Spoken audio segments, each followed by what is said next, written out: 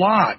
Not just in Italy, but in other places, there are investigations ongoing. There are accusations of all sorts of well, you know, questionable practices from Deutsche Bank, and uh, it, it seems to me as though there is a, a definite either either Deutsche Bank has become an extreme criminal operation, or there is a need to uh, to demonize them not only in financial circles but in the public's mind, so that any sort of business that would be dealt with them in any other country would be seen as suspect automatically.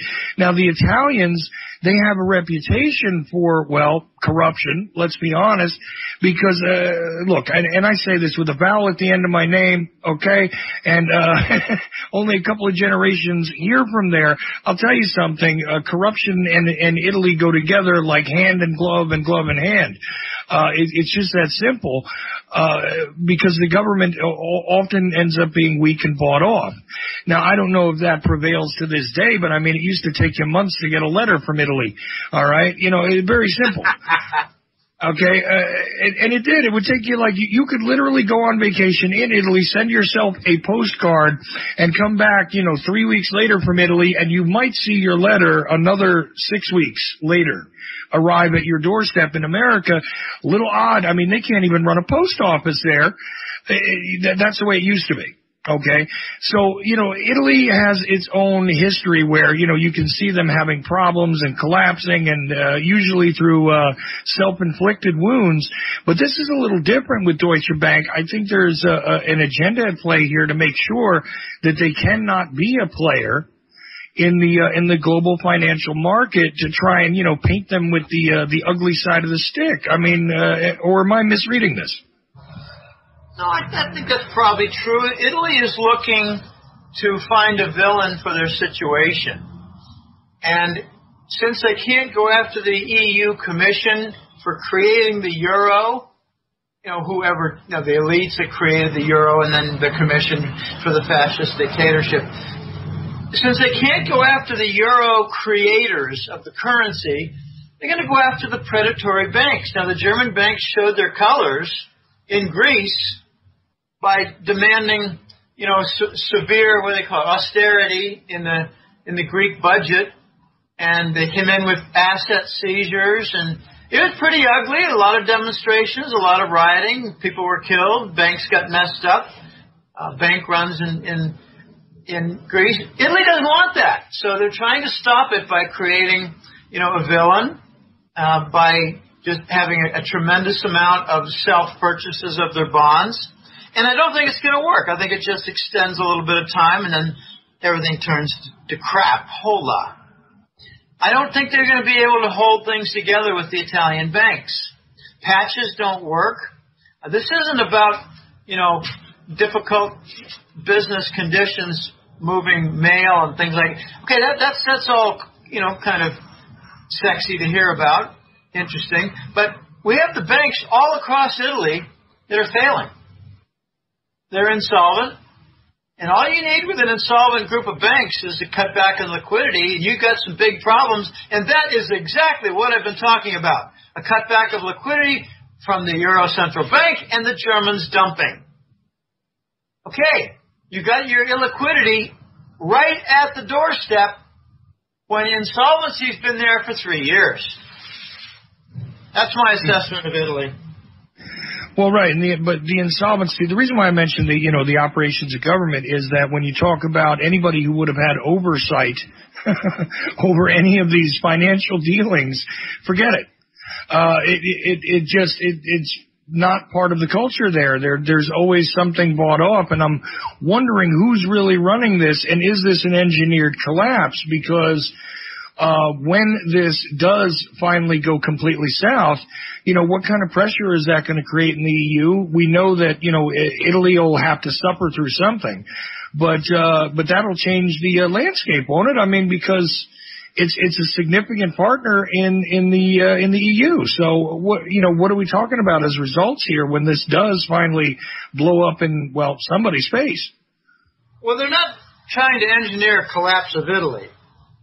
They're they're trying to cut back on the hyper monetary inflation at the central banks. like the Fed and the Euro Central Bank. The Euro Central Bank is just as bad in their African and South American style of hypermonetary inflation. Uh, they're equal. They're equal villains. Um, it, it's not going to. It's not going well. Um, now the the problem is that the major central banks want to cut back and they don't want the damage from their cutbacks, but they, they won't be able to avoid it. The U.S. is going to get a recession. We already got a recession. We're in our ninth straight year of the recession. Yeah, I was going to say, when did it end? what do you mean we're going to get? We already got, right? yeah, well, what you're going to get is a aggravated recession. Ah, there's the term. I mean, you've got a, a chronic recession now, and it's going to turn aggravated. An aggravated chronic recession is what they call a depression. I mean, I'm, I'm just playing with words and semantics here. No one wants to use the word depression for the United States economy. They don't even like much the recession. It's a sluggish recovery. If you're at minus 3% on your growth, that's a sluggish growth. Well, really? All you do is lie by 3% on your inflation and call that 3% growth, and your minus 3 becomes zero, and you're back to sluggish growth. That's what we do. We lie about inflation and call it growth. We've yeah, had six, eight, nine percent inflation for many years. We're calling it two and three, so we're lying by five percent or more, calling it growth. We've got a stuck situation. You don't look at the newspaper to find out what inflation is in the in the society and economy. Main Street. You look at your utility bill. You look at your food bill. You look at uh, various other things. Maybe not so much clothing uh, you know, fees for water, fees for sewer. Uh, there are property tax hikes that are being called in in many cities, even though they're in bad shape, just because the cities need more money. They need to, you know, fix their pension shortfalls. I mean, let's not even talk about Dallas. They, that's, you know, completely different situation. But, uh, you know, yeah. Italy, Italy is going down and they're looking for someone to attach, um, you know, like like fingernails in the neck and shoulder. Just attach while they're going down. Maybe they can drag down Deutsche Bank. If you see the Italian banks go down like like two or three, then then it's six. You're going to see some German banks dead. You're going to see some French banks dead.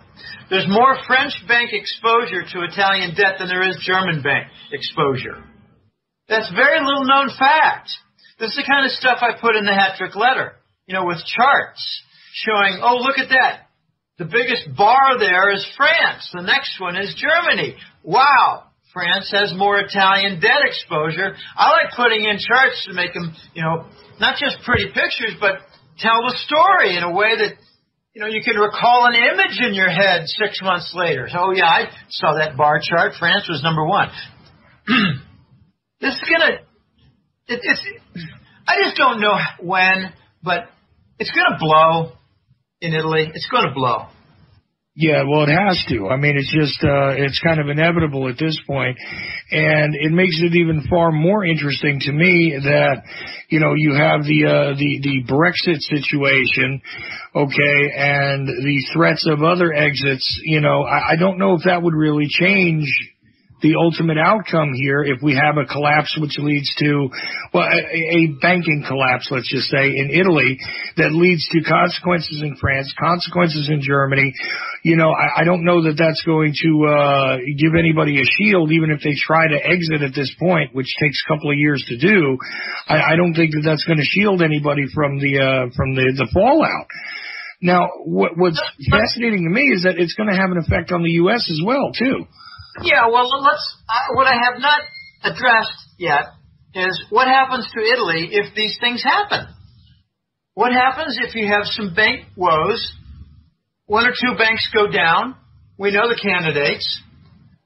What happens if they take down five banks and cause a contagion in France and Germany? I'll tell you what's going to happen. There's going to be a radical movement inside Italy to abandon the euro, go to the old lira, and move perhaps around two thirds of their debt, whatever is legal, you know, pre EU debt in Italy can move back to the lira. The French have established that now.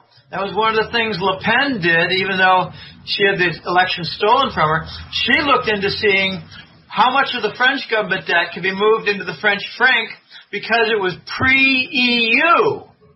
And the answer was, I think, around 60%. And I think for Italy, it's a little higher, like 65%. Okay, Italy might go back to the, the lira and devalue their debt by devaluing their currency. And what happens if that is done? Even worse, the effect on the foreign banks that hold their debt.